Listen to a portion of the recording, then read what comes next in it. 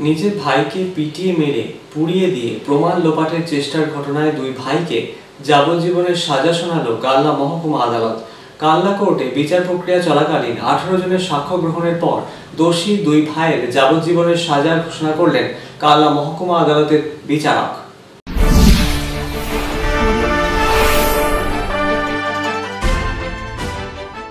নিজের ভাইকে পিটিয়ে হত্যা করার পর পুড়িয়ে দিয়ে প্রমাণ লোপাটের চেষ্টার ঘটনায় দুই ভাইকে যাবজ্জীবনের সাজা শোনালো কালনা মহকুমা আদালত। দু হাজার আঠারো সালের বিশে অক্টোবর কালনা থানার অন্তর্গত কেলেনই উত্তরপাড়া গ্রামে বিকাশ সর্দার নামের এক ব্যক্তিকে পিটিয়ে হত্যা করে তারই ভাই অশোক সর্দার ও তাপস সর্দার। এরপর প্রমাণ লোপাটের জন্য বিকাশের মৃতদেহ পুড়িয়ে ফেলারও চেষ্টা করে অশোক ও তাপস। ঘটনার পরই বিকাশ সর্দারের স্ত্রী সোনালী সর্দারের কালনা থানায় অভিযোগের ভিত্তিতে তার দুই ভাইকে গ্রেফতার করে কালনা থানার পুলিশ। এরপরই কালনা কোর্টে বিচার প্রক্রিয়া চলাকালীন আঠারো জনের সাক্ষ্য গ্রহণের পর কালনা কোর্টে শুক্রবার দোষী দুই ভাইকে সাজা শোনালো কালনা মহকুমা আদালতের বিচারক তপন কুমার মণ্ডল। এদিন ওই দুই ভাইকে যাবজ্জীবন কারাদণ্ডের সাজা শোনায় কালনা মহকুমা আদালত।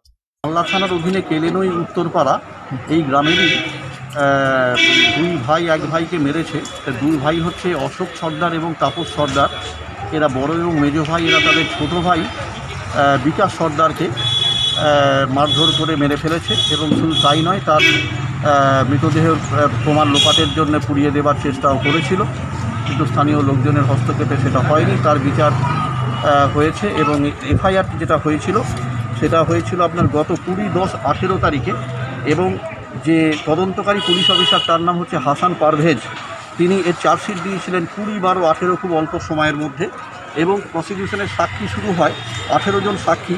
শুরু হয় সাতাশ ছয় উনিশ থেকে চব্বিশে ফেব্রুয়ারি দু হাজার কুড়ির মধ্যে সাক্ষীগুলো এক্সামিন সম্পূর্ণ হয়। সম্পূর্ণ হয়ে গত চোদ্দ আর উনিশ আট তারিখে, উনিশ আট তারিখে কোর্ট দোষী সাব্যস্ত করেন এবং আজকে সেই রায়দান শোনান। তিনশো দুই ধারাতে সর্বোচ্চ পানিশমেন্ট যেটা rare of the rarest case হলে যে ফাঁসির আদেশ হয়। সেইটা থেকে কোর্ট সরে এসছেন।